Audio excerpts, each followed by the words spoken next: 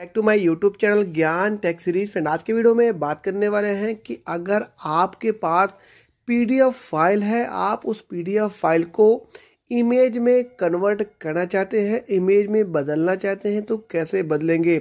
जैसे कि आप देख सकते हैं, जैसे कि आप अपने मोबाइल पर जाते हैं माई फ़ाइल पर डॉक्यूमेंट्स पर जाते हैं, और जैसे डॉक्यूमेंट्स पर जाते हैं तो आपको आपकी जो पीडीएफ फ़ाइल है, वो यहाँ पर शो होती है। तो आपको अपनी पीडीएफ फ़ाइल को जैसे कि रही पीडीएफ फ़ाइल पीडीएफ फ़ाइल को आपको इमेज में कन्वर्ट करना है तो कैसे कन्वर्ट करेंगे? इस वीडियो में आपको बहुत ही आसान तरीके से बताऊँगा।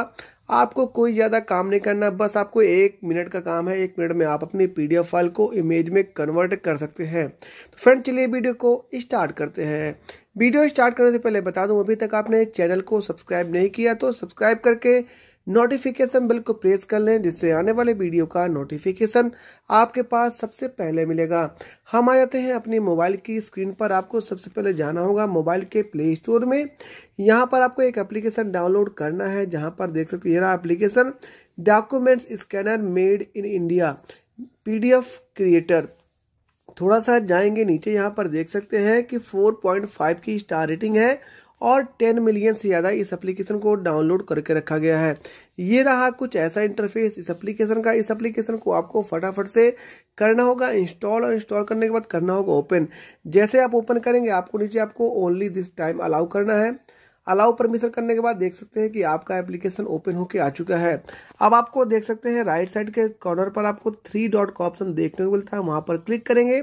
जैसे ही क्लिक करेंगे, यहाँ पर आपको बहुत सारी चीज़ देखने को मिल जाती है। यहाँ पर लिखा है इम्पोर्ट पीडीएफ बहुत सारी क्रिएट फोल्डर पीडीएफ टू जब कई सारी चीज़। आपको करना क्या है? ऊपर आपको एक ऑप्शन देख लेगा इम्पोर्ट पीडीएफ आपको इम्पोर्ट पीडीएफ पर क्लिक कर देना है। जैसे क्लिक करेंगे, ऊपर लिखा image audio video and documents आप डॉक्यूमेंट में सेलेक्ट करेंगे।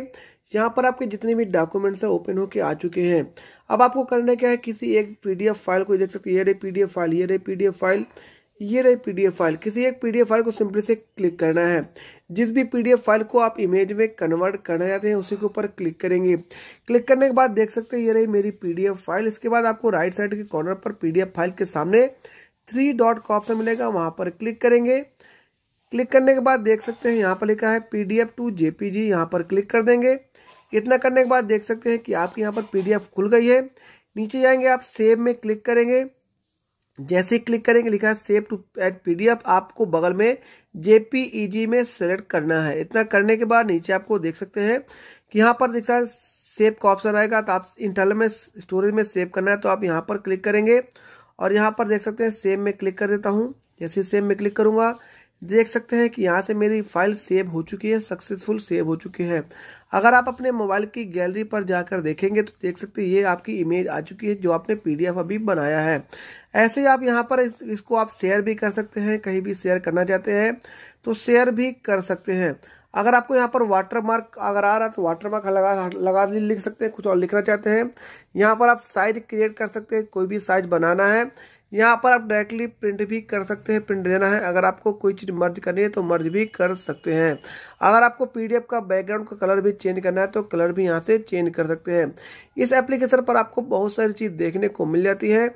उम्मीद करता हूँ वीडियो पसंद आया हो तो लाइक करना। चैनल पर नए आए हैं तो सब्सक्राइब करके नोटिफिकेशन बेल को प्रेस कर लें, जिससे आने वाले वीडियो का नोटिफिकेशन आपके पास सबसे पहले मिलेगा। तो फ्रेंड इस वीडियो में इतना ही। Thank you for watching take care